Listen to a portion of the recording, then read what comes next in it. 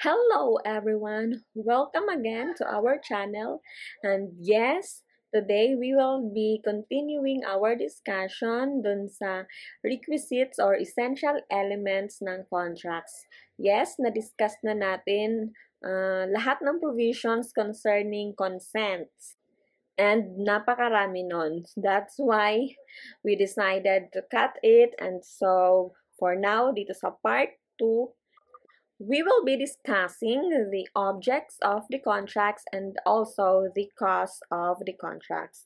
So that is Article 1347 to Article 1355. Medyo mas konting provision na lang compared to that of consent.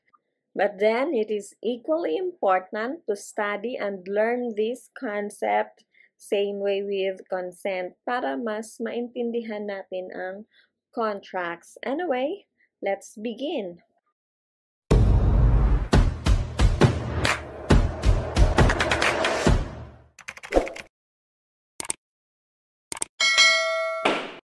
So, ano ba yung object of contracts? Ano ba ang pwedeng maging objects ng contracts? Yan ay sinagot ni Article 1347. Sabi nga eh, all things which are not outside the commerce of men, including future things. So, lahat talaga, pati future things, may be the object of a contract. Diba? So, all things including future things.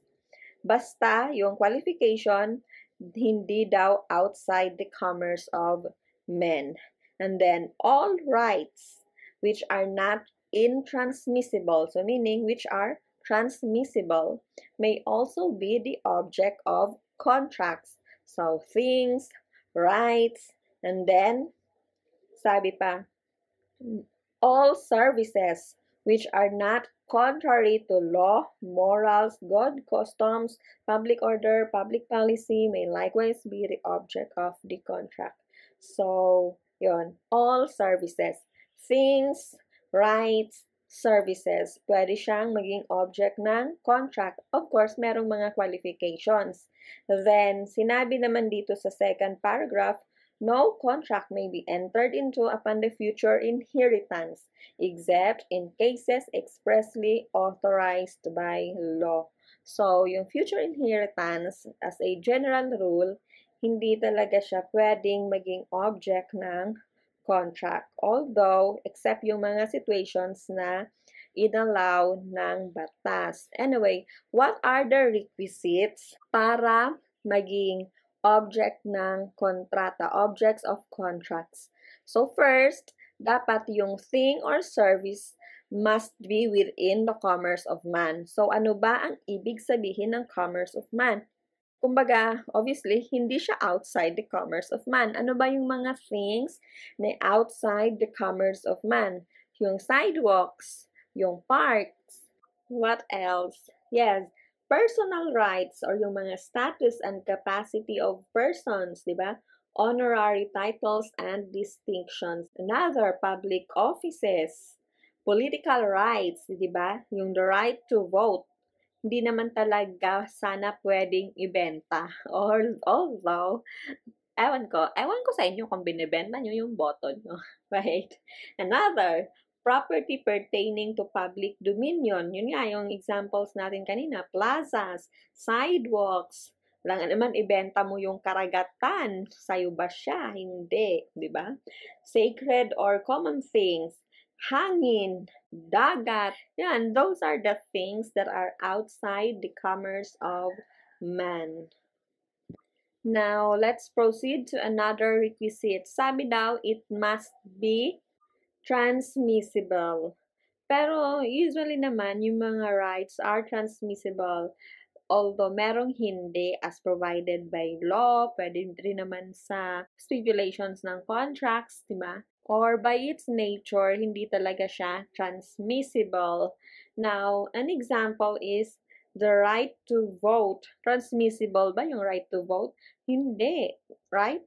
Your political right is not transmissible. At dahil intransmissible sila, meaning hindi sila pwedeng maging object ng contracts, which are not contrary to law, morals, good customs, public order, public policy. How about future inheritance?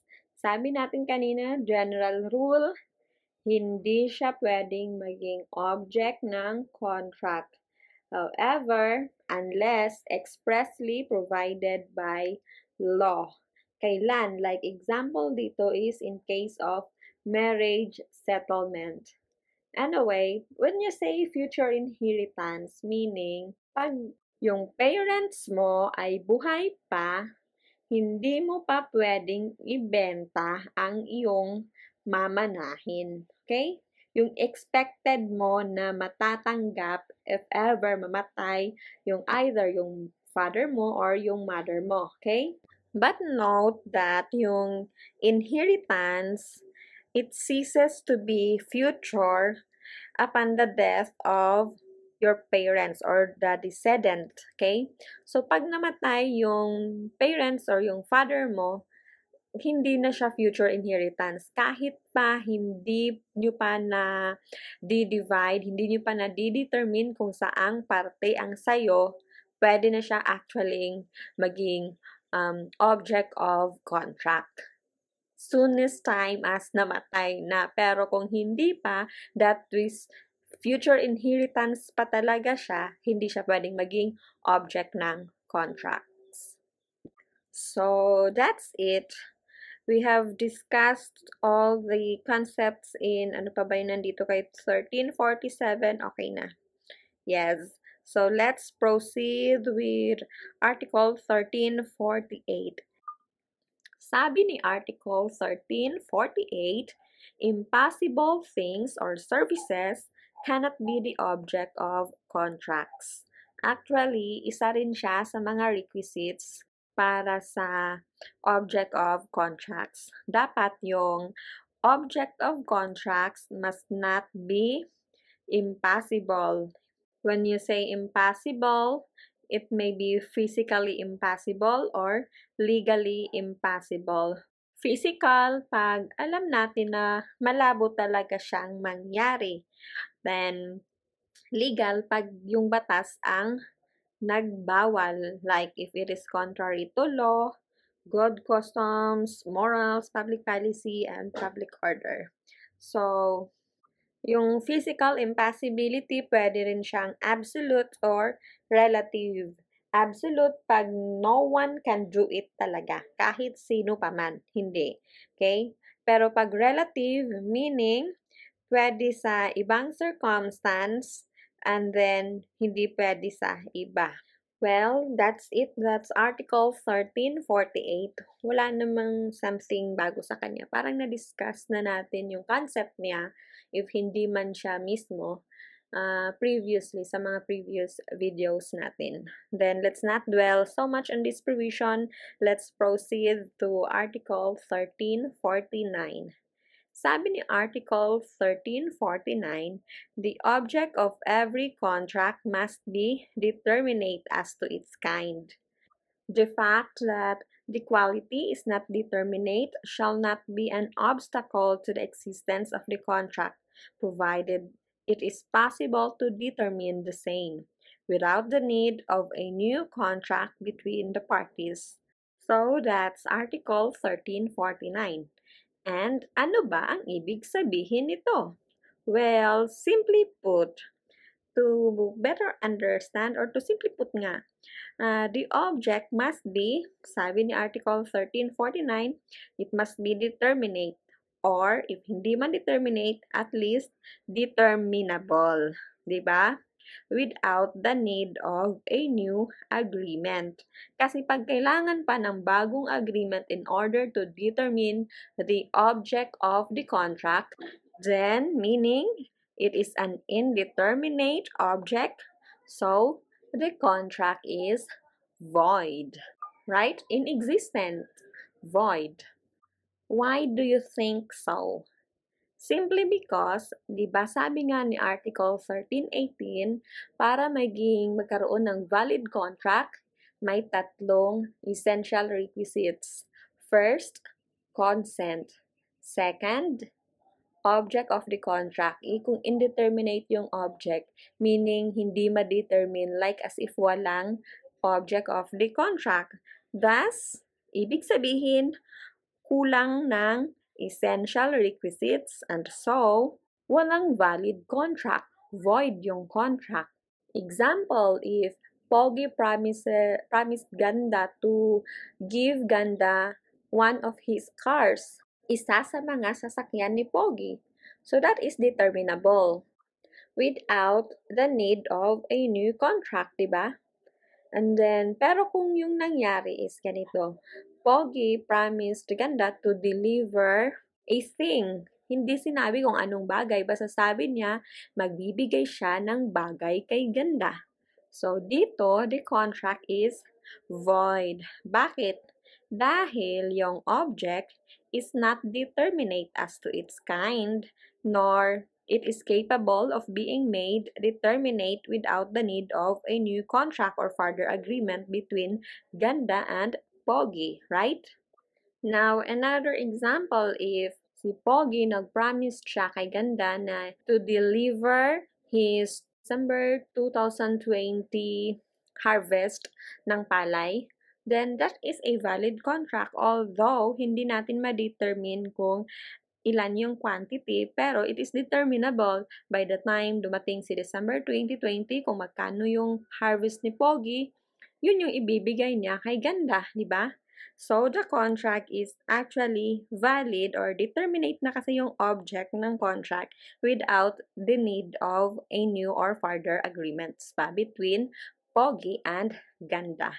So, that's it. That's object of the contract. It's as simple as that. Let's proceed to the next essential requisites of a contract. Cost of contracts. Tapos na tayo kay consent. Tapos na tayo kay object. So, cost. Cost of contracts. So, under Article 1350, sabi dito, In onerous contracts, the cost is understood to be for each contracting party the prestation or promise of a thing or service by the other. In remunitory ones, the service or benefit which is remunerated, and in contracts of pure beneficence, the mere liberality of the benefactor. In our simple or ordinarily, kung di-define mo si cost, isipin lang natin, eto yung reason kung bakit mo ba i-assume ang obligation na yan. Example, sa contract of sale, malamang bakit mo ba i-deliver ang lupa? Ano ang cost? Malamang kailangan mo ng pera, right? On the other party naman, uh, bakit siya magbabayad ng pera? Malamang din kailangan niya yung lupa, right? Well, dito mo makikita na yung difference ng cause at ng subject matter is only a matter of viewpoint in some way. Kasi yung subject matter for one party will be the cause or consideration for the other party, right? Although in another school of thought, sinasabi ni nila na yung cost ng halimbawa, yung example natin kanina, yung sa sale ng lupa, yung cost as to Pogi dahil siya ang seller, ang cost sa kanya is yung pera ni Ganda. Pero kay Ganda, ang cost sa kanya is yung um, lupa ni Pogi. And then, as to both parties daw, as to Pogi and Ganda, the subject matter is always the lupa. That is in another school of thought. So, merong dalawa. Either way, pareho that in bilateral contracts, both have an obligation which constitute the cause or the consideration of the other. So, anyway, balikan natin si Article 1350. Article 1350 provides for classification of contracts according to cost in which na-discuss na rin natin on our first video. Hindi, yun sa general provisions ng contracts. First, nagsabi siya about onerous contracts. Sabi, for onerous contracts daw, yung cost is understood to be for each contracting parties the prestation or promise of a thing or the service by the other. Well, simply put, meaning, say onerous contracts, both have obligation. They are reciprocally obligated to each other. Like, yung best example dito is the contract of sale. Now, sabi rin ni Article 1350, Another classification is if daw yung contract in is remuneratory, ang object, or I mean, the cost of the contract daw is the service or the benefit which is remunerated. Diba? Sabi natin before sa discussion na yung remuneratory contracts are those contracts for the past service or benefit na na-render. So, yung purpose ng contract is to reward the service that has been previously rendered nga. So, example is, if si Pogi has rendered a service as a defense counsel for Ganda, who agreed to pay Pogi an amount of 100,000 pesos for the said service, then yung object is yung 100,000 pesos. Tapos, yung cost is yung services or yung service na pinerform ni Pogi in favor kay Ganda as a defense counsel.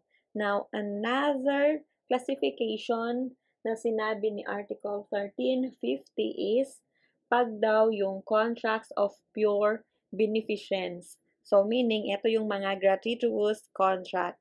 One wherein yung cause is the mere liberality of the benefactor or ng giver. So, example talaga dito is donation.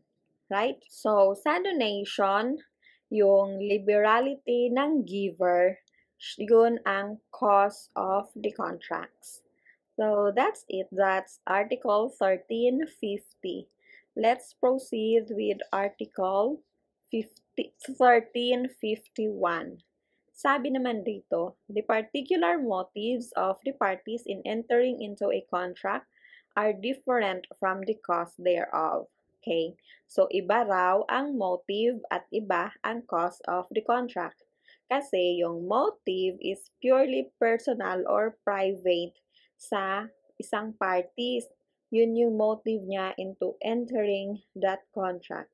Iba siya kay cause of contract. Example, if Pogi buys, bumili siya ng baril worth, say, 100,000 pesos dahil gusto niyang barilin si Ganda.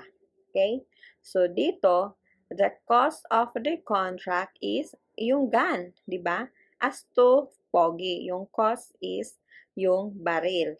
And yung pera yung pera is ang cost and the part of the seller.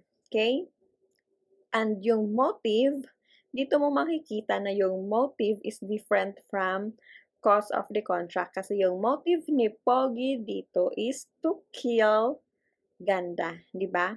So, motive is actually very personal and private to the contracting parties uh, its validity or invalidity is nothing to do with the validity or invalidity of the cause or the consideration. Okay?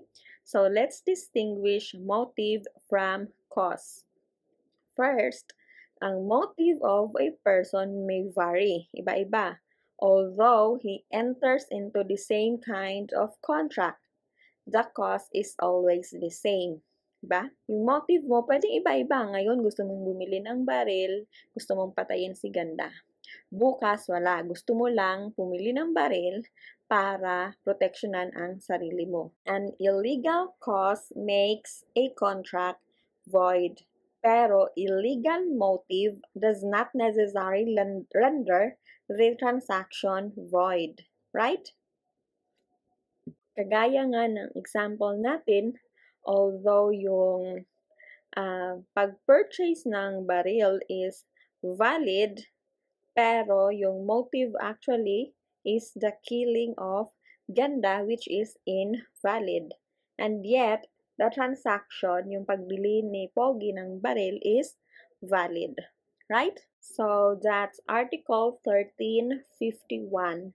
Let's proceed with Article 1352. Sabi, contracts without cause or with unlawful cause produce no effect whatsoever. The cause is unlawful if it is contrary to law, morals, good customs, public order, or public policy. So, what are the requisites for a cause? Kasi alam na natin na pag wala naman talagang cause, that contract is void and so it would really produce no effect whatsoever. Sabi ni Article 1352. Now, ano ba yung requisites for cause? Sabi first, it must be present. Dapat mayroon. Kasi kung walang cause, then kulang yung essential requisites ng contract which is consent, object, and cause. Now, yung cause daw first, it must be present. Dapat mayroon nga. Second, it must be true.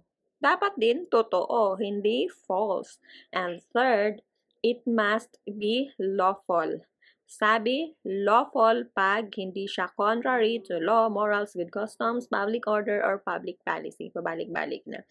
Anyway, so maybe we should just proceed with Article 1353 na rin. Sabi, the statement of a false cause in contracts shall render them void if it should not be proved that they were founded upon another cause which is true and lawful.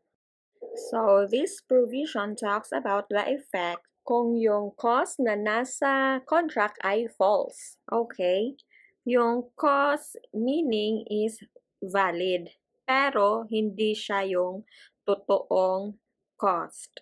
Ang sabi ni Article 1353, yun daw, yung contract ay magiging void pag hindi na-prove ng parties that it is founded upon another cause which is true and lawful. So, meaning, kailangan ding i-prove na yun ay true. Kumaga yung hidden na totoong kasi false statement of cause. So, yung totoong tinagon yung cause pala, dapat ay lawful din siya. Okay?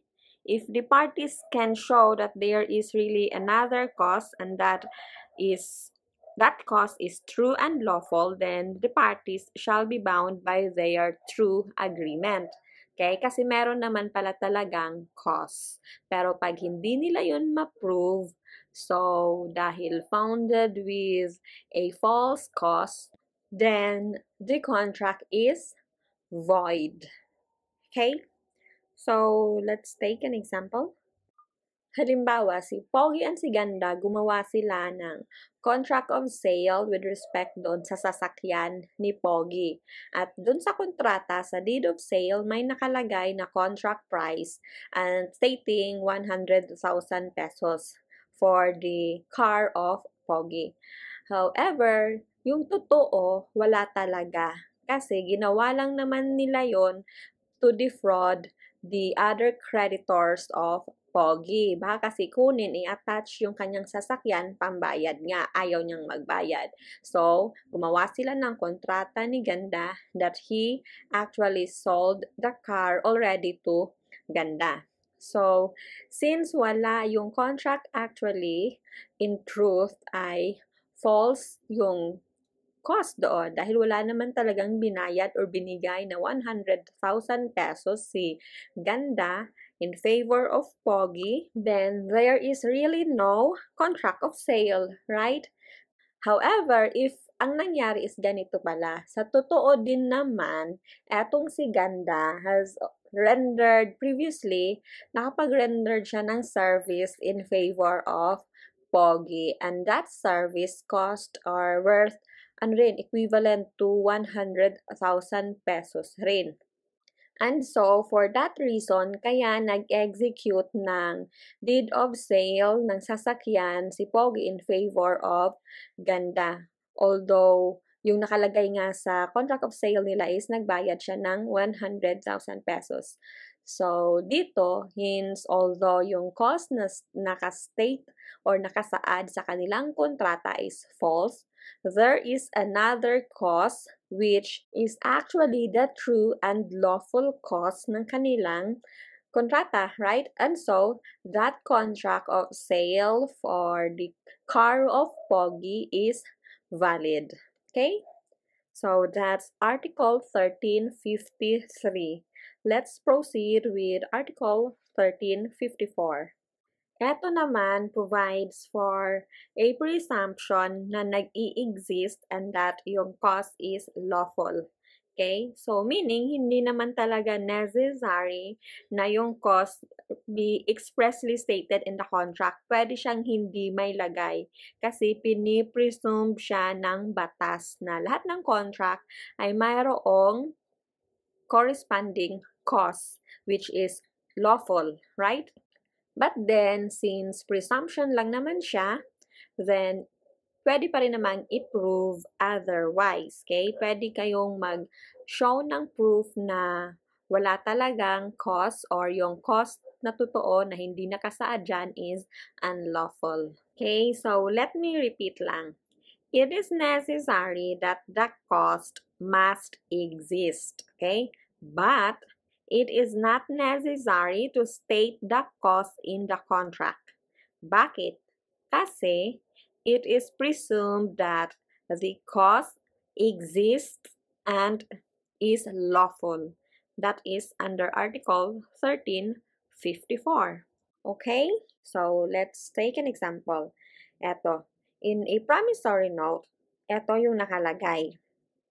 Now, if you will see, uh, if you will examine the promissory note, it did not state that Ganda promised to pay Pogi 10,000 pesos because Ganda did not receive anything from Pogi, anything worth 10,000 pesos. Diba? Now question, is the promissory note valid if it did not state the cost received by Ganda from Pogi?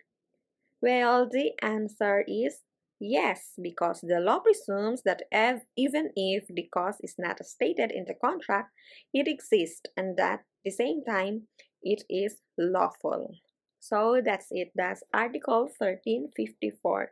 Let's proceed with the last article that we will be discussing in this topic. So Article 1355.